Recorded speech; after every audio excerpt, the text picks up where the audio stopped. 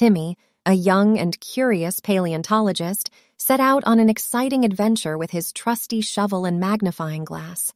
As he dug in the backyard, he stumbled upon a mysterious rock that looked like a dinosaur bone. With wide eyes, he realized he had made a prehistoric discovery.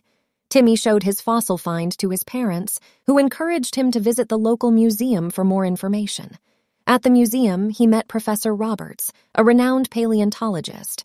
Together, they examined the fossil and found clues that hinted at the creature's identity. Timmy and Professor Roberts puzzled over the bone's shape and size, comparing it with the museum's vast collection of dinosaur fossils. They speculated that the bone could belong to a stegosaurus or a triceratops, both known to have lived in the region. Excitement brimming, Timmy imagined what life would have been like during the time of dinosaurs.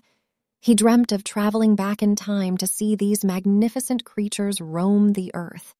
Determined to learn more, Timmy returned to the museum for a special Dino classroom session. With other budding paleontologists, he listened to fascinating stories of dinosaurs and their habitats, absorbing knowledge like a sponge. At the museum's lab, Timmy watched in awe as scientists reconstructed fossils.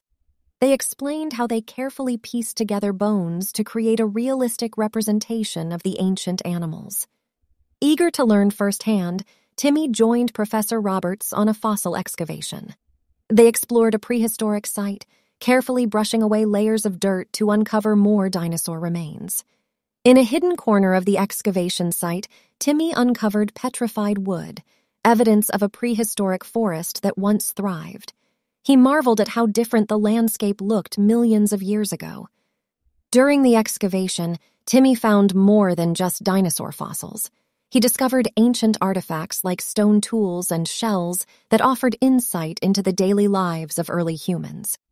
After weeks of careful analysis, Timmy and Professor Roberts confirmed that the fossil belonged to a stegosaurus. They celebrated their discovery and began to create a display for the museum. Timmy and the team worked diligently to prepare the Stegosaurus fossil for its grand museum debut. They assembled a stunning exhibit that showcased the prehistoric giant in all its glory. On the day of the exhibit's opening, families and dinosaur enthusiasts flocked to the museum.